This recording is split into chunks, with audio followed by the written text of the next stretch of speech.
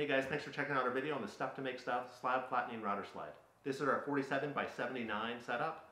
Uh, whether you get the bigger setup or a little bit smaller one, all the pieces and setup is going to be about the same. These are the things that'll make it easiest for you to set up. Some clamps, a straight edge, you'll need uh, some screws, some sort of a driver if you want to pre-drill it, drill bit, and your favorite high horsepower router. If you don't have a Porter cable three and a quarter horsepower router or a Triton high horsepower router, uh, we'll show you how to drill the holes to get that set up.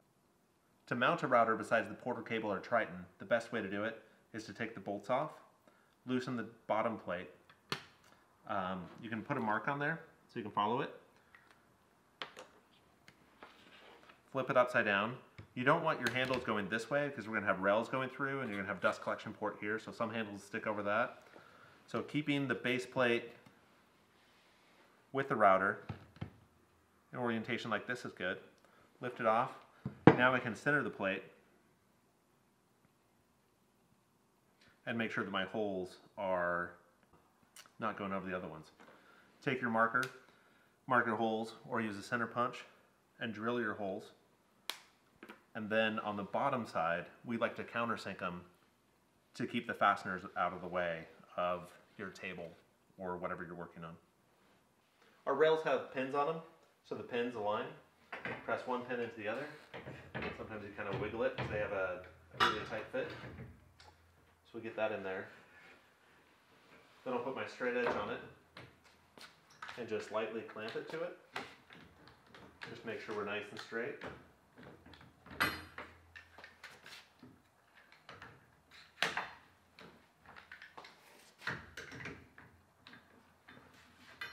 I'll put one at the start of the next rail.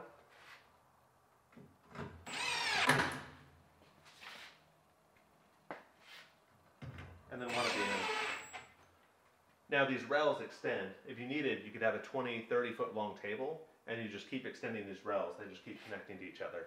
If you don't have like a piece of wood, a 4 by 8 sheet like this, what you can do is you can just take strips of it on the table saw, rip them down, and just stack them up and you can do it on your concrete floor or wherever you need to. Some people do it on the bed of their trailer. We'll put our height adjuster on the rail when you set it on. You want to not be too forceful, put it on there nice and gently. Then we'll put in our crossbars. These are make sure it's nice and firm.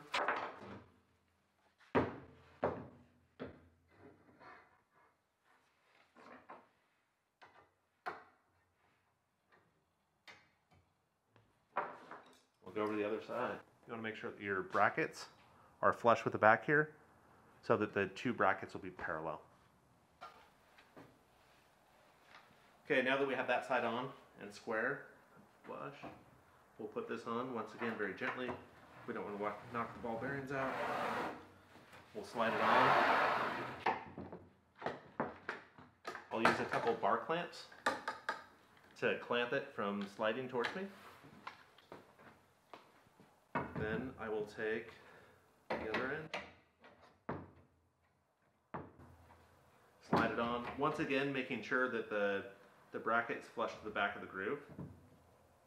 And I just want to pay attention to where I want my rail.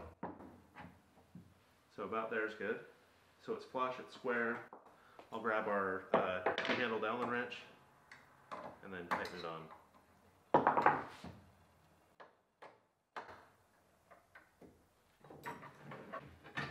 Put the two rails together, lift the carriage up, slide it in.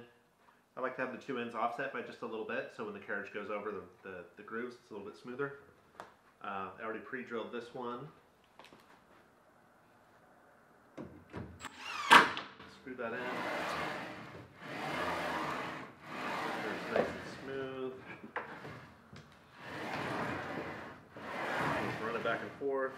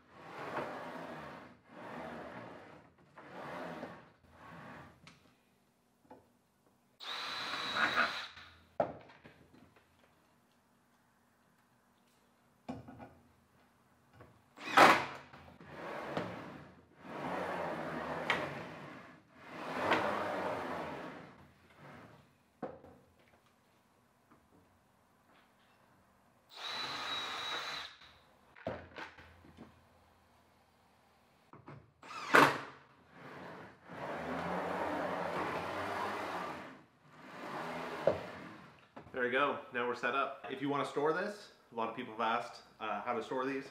The, the best way is uh, you can either unscrew the rails and slide them out if you're done with your project, or if you're going to come back to it in another uh, few days or a week, then you can go ahead and slide it off. And go ahead and set this on the floor, in the corner, on a shelf, um, wherever you want. You can leave this assembled or you can take it apart. Thanks for watching.